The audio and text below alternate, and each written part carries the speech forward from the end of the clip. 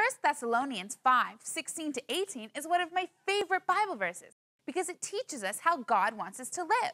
It says, Be joyful always, pray continually, give thanks in all circumstances, for this is God's will for you in Christ Jesus.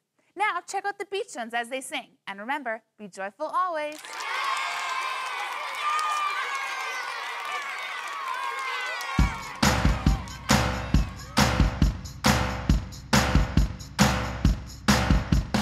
Joyful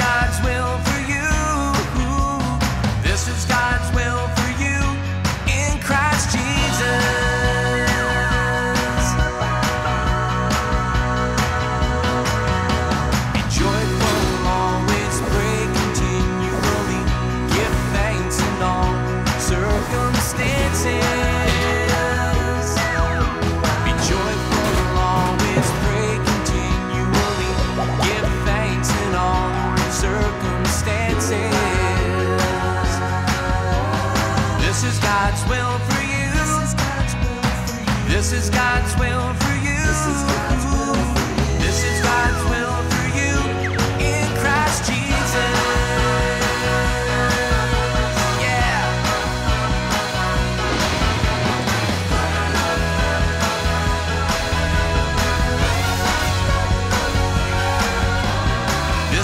God's will for you. This is God's will for you. This is God's will for you in Christ Jesus. This is God's will for you in Christ Jesus.